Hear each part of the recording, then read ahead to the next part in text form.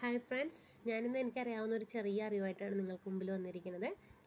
ഇത് നമ്മുടെ ചെമ്പരത്തി തൊടിയിലൊക്കെ കാണാവുന്ന സാധാ ചെമ്പരത്തിയാണ് അഞ്ച് ഇതളുള്ളത് കേട്ടോ അപ്പോൾ ഈ ചെമ്പരത്തി വെച്ചിട്ട് ടോക്സിൻസ് അകറ്റാൻ വേണ്ടിയിട്ട് നമുക്കൊരു ഡ്രിങ്ക്സ് പറഞ്ഞു തരാണ് നിങ്ങൾക്ക്.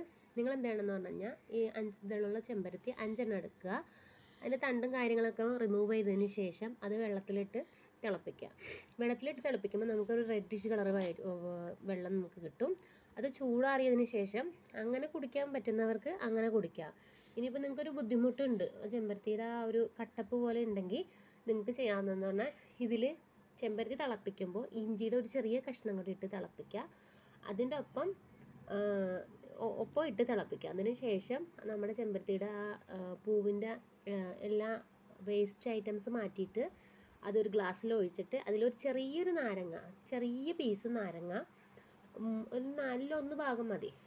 നാരങ്ങയുടെ കുറച്ച് നീരൊഴിക്കുക അപ്പോൾ അത് നമുക്ക് കുടിക്കുമ്പോൾ ഒരു കുഴപ്പം തോന്നില്ല കേട്ടോ.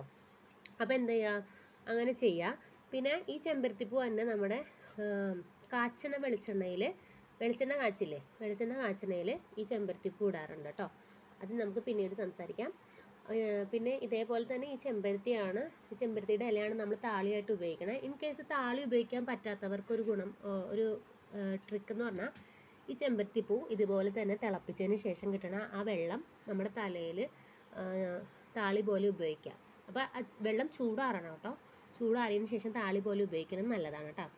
അപ്പോൾ ഈ നീർക്കെട്ട് ശ്വാസം മുട്ട് അങ്ങനെ ഉള്ളവർക്കൊന്നും നേരിട്ട് താളി ഉപയോഗിക്കാൻ പറ്റില്ല. അവർക്ക് അതൊക്കെ കൂടും. അപ്പോൾ മുടി സംരക്ഷിക്കണം വേണം എന്നുള്ള ആഗ്രഹം കൂടി ഉള്ളവർ എന്ത് ചെയ്യുക ഇങ്ങനെ ചെയ്യുക കേട്ടോ അപ്പോൾ ഇത്രയാണ് എനിക്കിപ്പോൾ പറയാനുള്ളത്. നിങ്ങൾക്ക് ഈ വീഡിയോ ഇഷ്ടപ്പെട്ടാൽ ലൈക്ക് ചെയ്യുക ഷെയർ ചെയ്യുക ഓക്കെ താങ്ക്